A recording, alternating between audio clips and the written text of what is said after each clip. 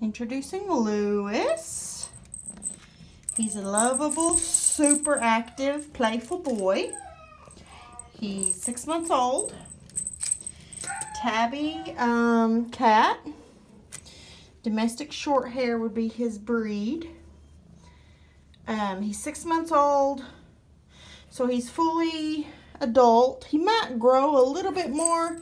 He could probably stand to bulk up and get a little bit of weight on him if he was fed, you know, a bunch of wet food, um, treats, and kibble. As you can see, he's very sweet and friendly, and he wants to climb up on you and be in your lap.